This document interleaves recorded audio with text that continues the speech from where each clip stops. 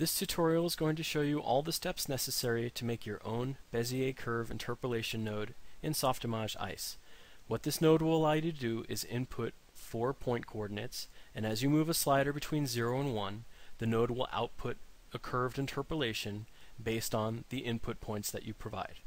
Now I'm here at the Bezier curve Wikipedia entry because they do a nice job not only of explaining the origin of the curve and how it works mathematically, but they have a nice little animated image here. And this is more useful for us for developing how we're going to make this curve interpolation work using Softimage ICE. So if we look at this animation and we think of it in terms of point positions and particles, which is what we're used to dealing with in ICE, as this t value is animating between 0 and 1, and that could be our slider as we change its value between 0 and 1, what's happening is we've got one point on this green line here that's moving from P0 to P1. The second point of the green line is moving from P1 to P2. And then the third point is going from P2 to P3. So each one of these points on the green is basically interpolating at a constant speed between two points. Now, if we take the results of the, that first set of interpolated points and then we do the same thing. We interpolate from this first point to the second point, and the second point to the third point. That's what's generating the blue line.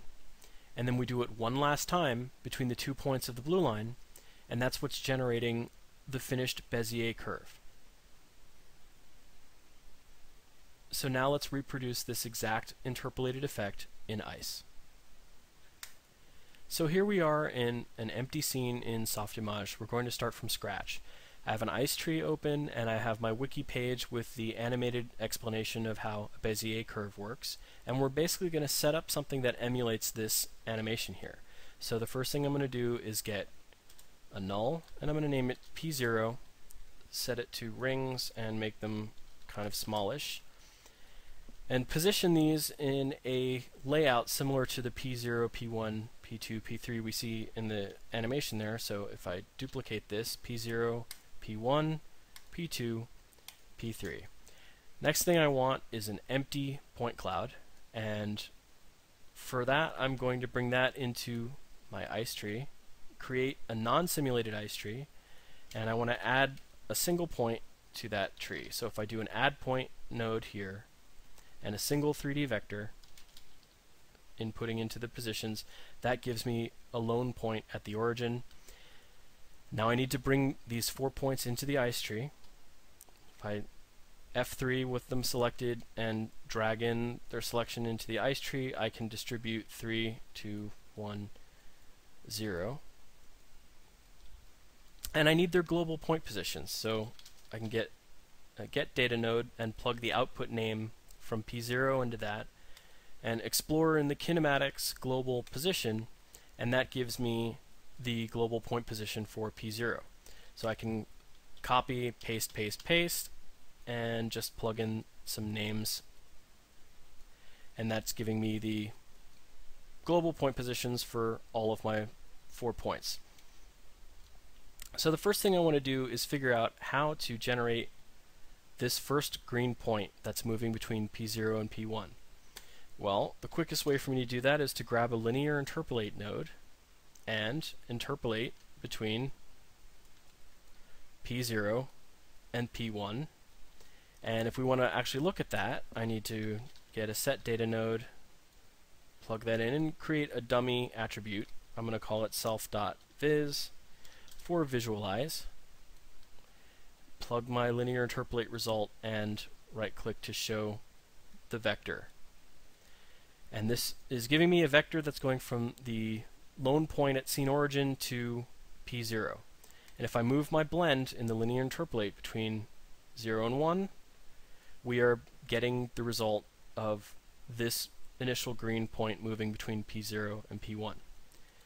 At this point, I can copy and paste that linear interpolate node and grab P1, P2, and then plug that result in and show the value. And if I blend between those two, that's giving me this second green point that's interpolating between P1 and P2.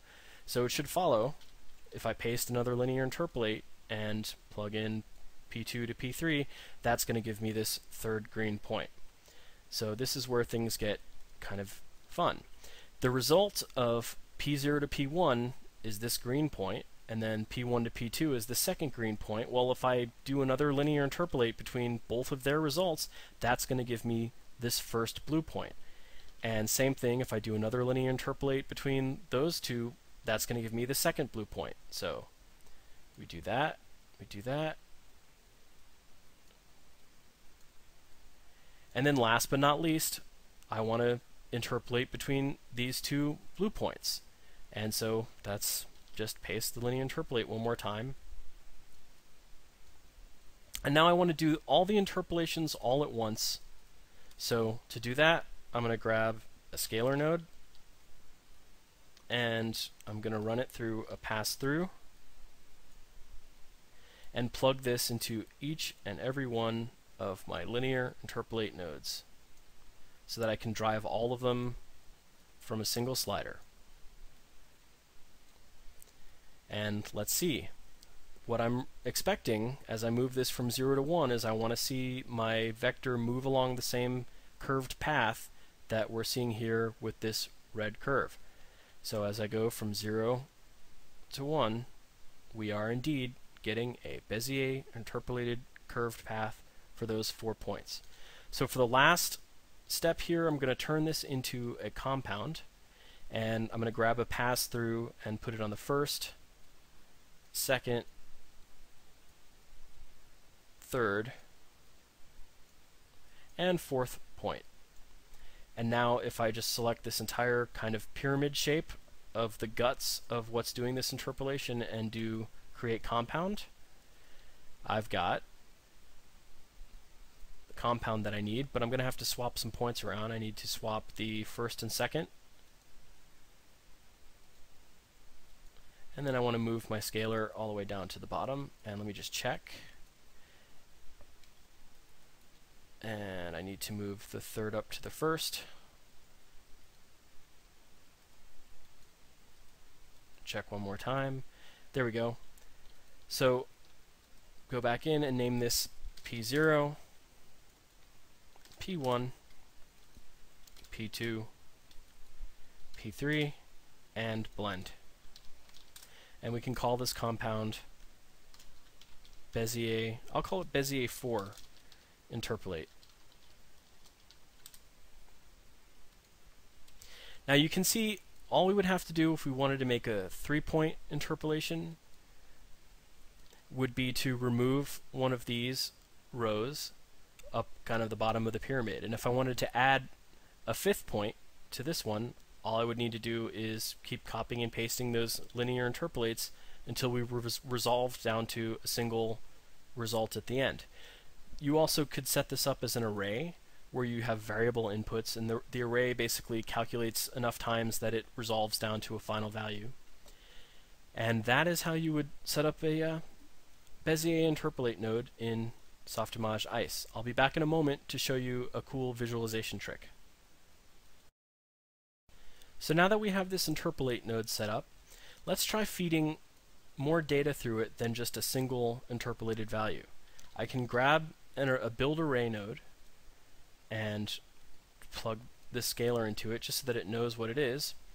And then if I right click on that and insert a couple of ports after, I can set some values. So uh, I'll leave value 1 at 0 and value 2 I'll set it 0.25, value 3 0.5, value 4 0.75, and value 5 at 1.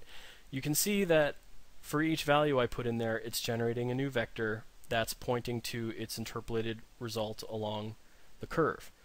Well, you can build your own compound, and I already have one in my library, uh, that creates an incremental array.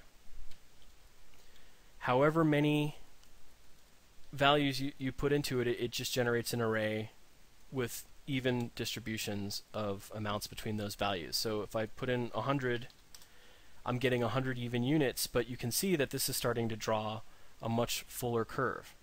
I could put in a thousand, and then we get pretty much a solid block. And as I start moving my points around, you can see this is definitely a Bezier interpolated curve. And if I go to a user view, it works in 3D space. It's not just a two-dimensional effect. Um, but one of the cool things that ICE does is it recognizes when you're giving it an array of input data, and it introduces a new visualization for you, where uh, if I show my value properties, I don't need to show vectors anymore. I can use lines. And what lines will do is basically just draw the result as a line. And this is probably what you want to do when you want to visualize the curves that you're generating in your scene. So we find ourselves ending where we started, back in the Wikipedia page entry about the Bezier curve. And you can see now how we went from a simple animated drawing that represented a concept. We reproduced that same concept in the ice tree and we developed something useful from that. So go out and do some really cool stuff with your Bezier interpolation nodes, and I hope you found this helpful. That's all for now.